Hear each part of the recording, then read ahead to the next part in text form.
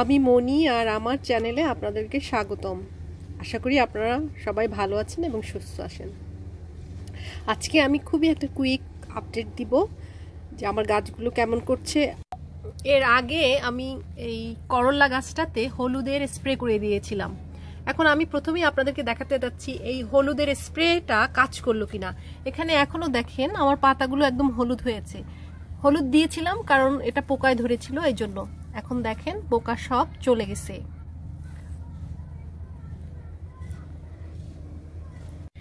এই পাতাটাতে বেশি পোকা ধরেছিল, এখন দেখুন পোকাগুলো মরে এটার সাথে লেগে আছে এবং পোকার ডিমগুলো পর্যন্ত মারা গেছে। তো আপনারা চাইলেই অনায়াসে হলুদের স্প্রে আপনাদের গাছে করে দিতে পারেন।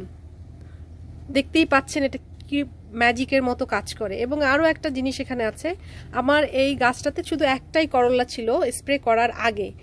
পোকার আক্রমণে গাছটা যেহেতু দুর্বল হয়েছিল, দেখুন, এখানে আবার কিন্তু করল্লা আসা শুরু হয়েছে। তবে এই আর একটা জিনিস মনে রাখতে হবে, যে এই পোকাগুলো একবার আমি হলুদের স্প্রে দিয়ে মেরে ফেলেছি, তার মানে আর আসবে না, তা কিন্তু নয়। তো আপনারা এই ব্ল্যাক ফ্লাই গ্রিন ফ্লাই এই যে এফিডগুলো আছে, এগুলোকে দূর করার জন্য আপনারা হলুদের পানি স্প্রে করে দিতে পারেন। আর একবার স্প্রে করার পরে যদি দেখেন পোকা আবারও এসেছে, তখন সাত দিন অথবা দশ দিন পরে পরে আপনারা এটা ব্যবহার করতে পারেন। আগে আমি আরও একটা ভিডিও আপলোড করেছিলাম যে আমার এই করল্লা গাছটাতে ছত্রাকের আক্রমণ হয়ে গেছিল এবং গাছটা প্রায় মারা যাবার অবস্থা হয়েছিল, পাতাগুলো শুকিয়ে হলুদ হয়ে গেছিল। দেখুন, গাছটা কেমন প্রাণ ফিরে পেয়েছে। সো এখানে দেখাই যাচ্ছে, আমি যে ব্যবস্থাগুলো নিয়েছিলাম গাছটা ভালো করার জন্য, সেটা কাজ করতেছে।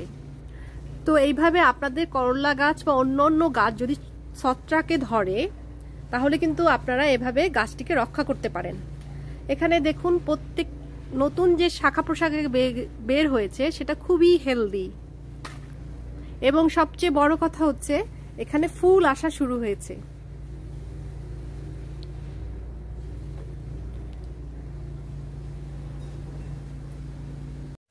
এখানে দেখতে পাচ্ছেন এখনও একটা পাতা, সেই পুরনো পাতা কিন্তু হলুদ হয়ে আছে।